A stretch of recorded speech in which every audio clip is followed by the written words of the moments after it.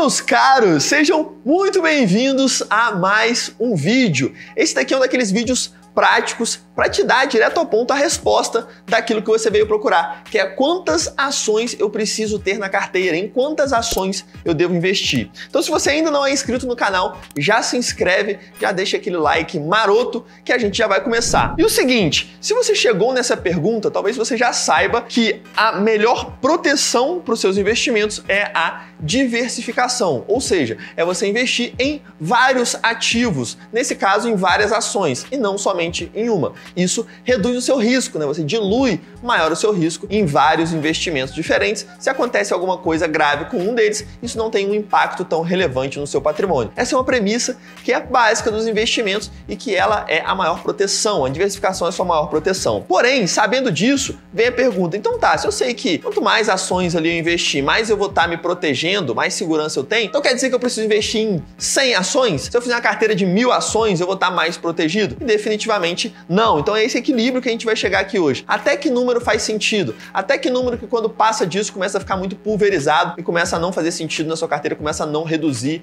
o risco da sua carteira. É isso que a gente vai chegar aqui. E para isso, eu vou te explicar dois conceitos que eles são bem simples. vou dar um exemplo real para cada um deles que você vai conseguir entender de maneira bem clara. Esses conceitos, eles são o risco não sistêmico e o risco sistêmico. São duas maneiras de risco diferentes. Ele que vai nos dar a resposta de quantas ações a gente precisa ter. Então por isso que eles são bem importantes. O risco não sistêmico é aquele risco que atinge uma ação em específico. Vou te dar um exemplo prático que fica claro. Quando você investe em uma ação, consequentemente você está se tornando sócio dessa empresa que está por trás da ação. Então essa empresa tem alguns riscos que são não sistêmicos, que não depende de sistema nenhum. É um risco daquela ação específica. A gente pode colocar, por exemplo, o risco de entrar um concorrente que reduza o lucro dessa empresa, o risco de ter um escândalo de corrupção nessa empresa. Tudo isso são riscos específicos dessa ação que, caso aconteçam, eles vão fazer essa ação desabar, você acabar perdendo dinheiro com ela, beleza? O outro risco é o risco sistêmico. Esse segundo tipo de risco, ele já age de uma maneira mais abrangente, já é um risco que atinge todo o sistema de maneira quase que equivalente. Um exemplo claro para você entender é uma crise financeira. Quando você tem, por exemplo, uma crise financeira no Brasil, ela atinge praticamente todas as empresas que são listadas na Bolsa Brasileira, atinge praticamente todas as empresas que fazem, que oferecem seu produto ou seu serviço aqui em território nacional, uma vez que você tem uma crise financeira, uma instabilidade financeira ou até política acontecendo no país. Então, esse é um exemplo bom de um risco sistêmico. Você tem vários outros riscos sistêmicos, mas todos que atingem principalmente a economia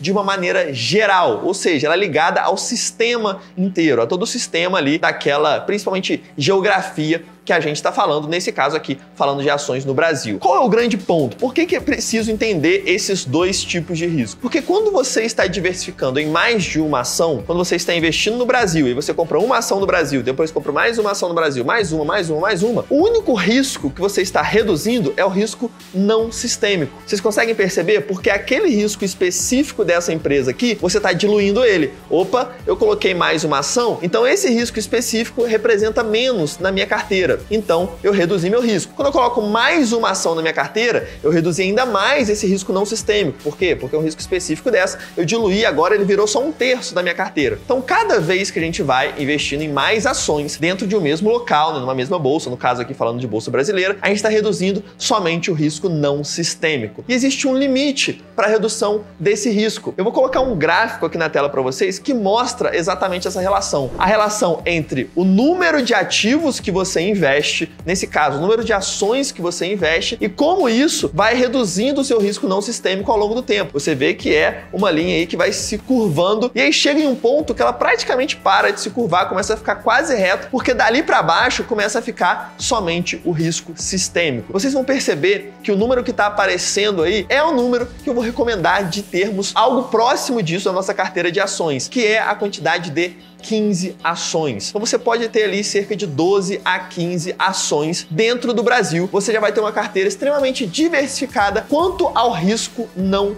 sistêmico. E agora vem uma dica bem importante. Não adianta só falar o número, que ele não é um número mágico. Se você tiver 15 ações de qualquer uma, isso vai estar o suficiente para você diversificar? Definitivamente não. Essas 15 ações, para você conseguir diversificar esse risco não sistêmico, elas precisam ter fatores de riscos diferentes. Ou seja, uma ação deve ser uma ação de um setor de energia, outra ação de um setor financeiro, outra do setor de bens e serviços, outra do setor de saúde e assim por diante. Ou seja, empresas que estejam ligadas a fatores de risco diferentes. Porque imagina, se você investe em 15 ações mas as 15 são do setor financeiro. Você, na verdade, não vai estar diversificando nada, porque você vai estar completamente ligado a um mesmo risco ali sistêmico, que é o risco do segmento financeiro. Então, para esse número de funcionar para você, para você montar uma carteira que realmente seja diversificada com 12 a 15 ações, é importante que nessas 15 ações você tenha pelo menos ali 10 setores diferentes. Alguns setores podem até se repetir, mas um número aí próximo não precisa ser exatamente, né? Aqui a gente está falando, cada um vai ter sua carteira em específico, não precisa ser cravado, eu tenho que ter 15 ações, eu tenho 14, tô desesperado, se eu tenho 17, acabou o mundo. Não, não é assim. Mas é um número base ali para você ter na sua carteira, sendo ali de 9 a 11 setores diferentes, você já fica extremamente diversificado quanto ao risco não sistêmico. Agora, vem um bônus aqui para vocês, que é o seguinte: vocês devem ter visto nesse gráfico que o que a gente fez agora, né, o que você vai fazer chegando nessas 15 ações, é fazer essa curvinha aqui e aí você chegou aqui na base, no limite, onde você não consegue reduzir mais o seu risco porque você continua com um alto risco sistêmico. Você tem 15 ações diferentes, mas todas elas estão ligadas ao mesmo risco sistêmico, que é o risco do Brasil. Então agora vem um bônus, que aí sim é como você fazer essa carteira ficar blindada, como você realmente fazer uma carteira segura, diversificando não só em relação ao risco não sistêmico, mas também em relação ao risco, risco sistêmico, que é diversifique em duas coisas. Primeira, outras classes de ativos, grave esse nome, e segundo, de acordo com a geografia, então de acordo com a localização onde essas empresas estão arrecadando, né? onde elas atuam de fato, onde elas conseguem seu dinheiro. Por quê? Primeiro, classe de ativos. Você tem riscos sistêmicos que estão ligados especificamente às empresas, especificamente às ações, algo que pode atingir em cheio a bolsa de valores. Então, o que você pode fazer? Você pode diversificar. Além de você investir só em empresas, você investe também em imóveis. Então, nesse caso, você iria diversificar também nos FIIs, que também é outro ativo que a gente consegue investir diretamente pela bolsa. Então essa é a primeira dica, essa primeira coisa que você consegue reduzir seu risco sistêmico, assim como a classe de ativos de renda fixa. Então é importante você ter uma pequena porcentagem ali também em renda fixa, porque já é uma classe de ativos diferentes. Só que além disso, né, tudo isso ainda, ainda está ligado ao Brasil, ainda está ligado a uma mesma economia. Então qual é o próximo passo? Diversificar quanto à geografia, diversificar quanto à localização e, consequentemente, quanto à moeda. Para fazer isso, a melhor alternativa definitivamente é você diversificar nos Estados Unidos.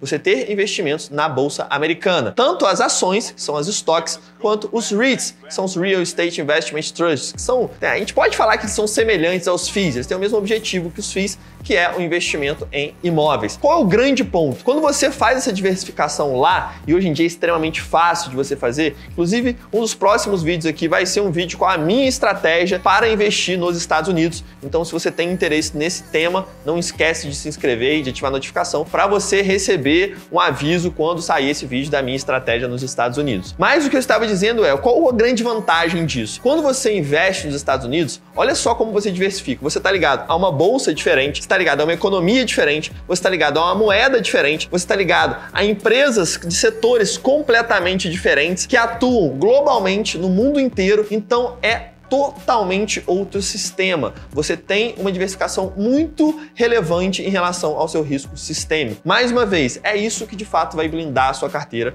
que vai te dar toda a proteção que você precisa. Então, primeiro passo, tenha de 12 a 15 ações dentro do Brasil. Segundo passo, que essas 15 ações elas sejam de pelo menos 9 a 11 setores ali diferentes, que tem ali em média de 10 setores diferentes dentro da sua carteira no Brasil. Terceiro passo, diversifique quanto à classe de ativos, então não invista só em ações, mas também em imóveis através dos FIIs. E quarto passo, diversifique no exterior através das estoques dos REITs e até dos próprios ETFs lá, que são outros veículos que eu também vou falar quando eu fizer o meu vídeo aqui sobre a minha estratégia de investir nos Estados Unidos. Com esses quatro passos, você tem a sua carteira blindada e aí você reduz drasticamente nesse gráfico que a gente viu em relação ao risco. E você pode investir com segurança e, consequentemente, crescer o seu patrimônio e gerar renda passiva ao longo do tempo. Se você gostou deste conteúdo de hoje, faz o seguinte: tem um link aqui na descrição que te leva para o nosso grupo, onde eu mando todo o material didático, PDF, toda semana com conteúdo exclusivo, as lives semanais, absolutamente tudo você recebe nesse nosso grupo que está o link na descrição. Então, se você tem o objetivo de se tornar um investidor de verdade, clica lá que eu estou esperando o nosso grupo de verdade. Estamos juntos até o próximo vídeo. Aquele abraço. Thank